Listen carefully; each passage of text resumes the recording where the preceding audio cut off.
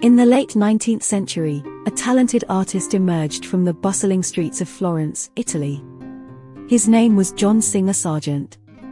Born in 1856, Sargent had a remarkable upbringing that would later influence his extraordinary artwork. As a child, Sargent lived a nomadic lifestyle, traveling across Europe with his family. This constant exposure to different cultures and landscapes ignited a deep curiosity within him. He observed the diverse people and vibrant scenery around him, capturing it all in his mind's eye.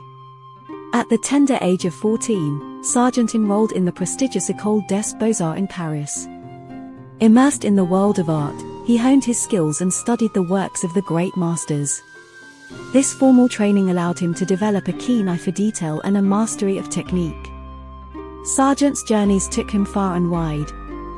His experiences ranged from sketching the tranquil Swiss mountains to capturing the picturesque beaches of Europe. These encounters brought forth a sense of movement and authenticity in his creations. His artwork during this period exemplifies his ability to capture the essence of a fleeting moment.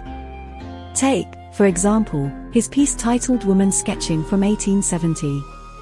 It reveals an artist deep in concentration, capturing the beauty of his subject with swift brushstrokes. Another notable work is Men Hauling Lifeboat onto Beach from 1876. This painting captures the strength and determination of everyday individuals working together to overcome a challenge.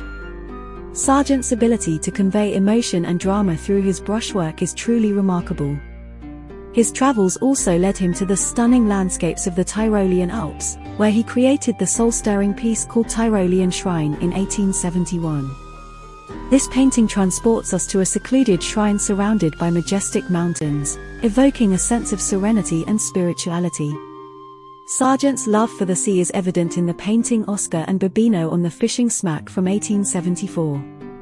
With bold and vibrant strokes, he captures the camaraderie and energy of a fishing expedition. Throughout his career, Sargent continued to evolve as an artist, exploring different styles and subjects. His versatility is exemplified in his painting Boats I from 1879, where he blends impressionistic and realistic elements to create a sense of movement and life. The influence of his travels is further seen in his painting Alhambra, Patio de los Leones from 1879. Sargent's attention to architectural detail and his ability to capture the play of light and shadows transport us to the exotic atmosphere of Spain. Sargent's passion for people is evident in the model from 1876, where he delicately captures the vulnerability and grace of his subject. Similarly, his Spanish church interior from 1880 depicts the grandeur and spirituality of a sacred place. In every brushstroke, Sargent weaves a story, his paintings are a glimpse into the world as he saw it, a mosaic of experiences and emotions. Through his travels, he found inspiration and translated it onto canvas for all to behold. The works of art from this period are a testament to Sargent's ability to capture the essence of a moment, the beauty of a landscape, and the depth of human emotion. Join us as we explore the extraordinary artistry of John Singer Sargent.